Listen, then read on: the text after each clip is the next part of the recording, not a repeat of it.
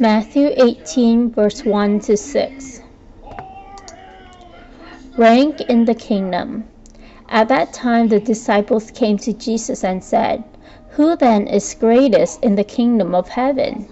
And he called a child to himself and set him among them, and said, Truly I say to you, unless you change and become like children, you will not enter the kingdom of heaven. So whoever will humble himself like this child, he is the greatest in the kingdom of heaven.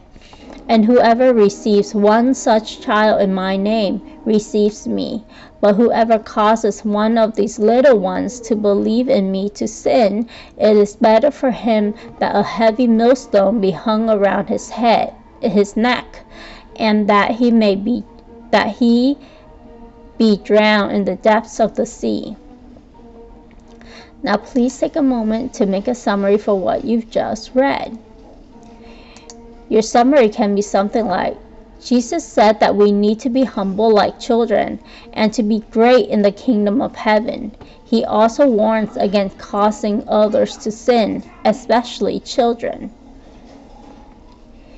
And here's your comprehension question. So whoever will blank himself like this child, he is the greatest in the kingdom of heaven.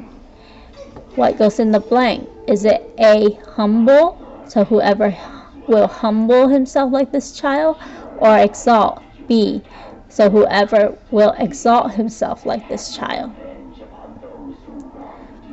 If your answer is A, humble, then you've nailed it. Good job. The answer is A. So whoever will humble himself like this child, he is the greatest in the kingdom of heaven. Verse 4. Now ponder this. In what ways are children humble? In what ways should we humble ourselves like children?